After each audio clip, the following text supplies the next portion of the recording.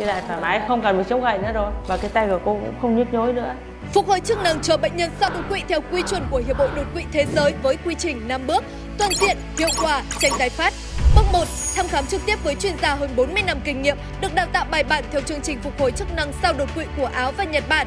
Bước 2. Làm bài test trước, trong và sau quá trình điều trị, đánh giá chính xác mức độ tổn thương, xây dựng phác đồ phục hồi chức năng riêng biệt phù hợp với từng tình trạng bệnh. Bước 3. Liệu trình phục hồi chức năng với 3 yếu tố, thiết bị trị liệu tích hợp công nghệ AI, kỹ thuật trị liệu chuyên sâu Avan cùng liệu pháp y học cổ truyền giúp chữa lành tổn thương toàn diện, giảm đau nhức hiệu quả, khôi phục khả năng tư duy ngôn ngữ, chủ động bước đi, sinh hoạt hàng ngày, kích thích ăn, ngủ ngon, tăng sinh dinh dưỡng cho cơ thể.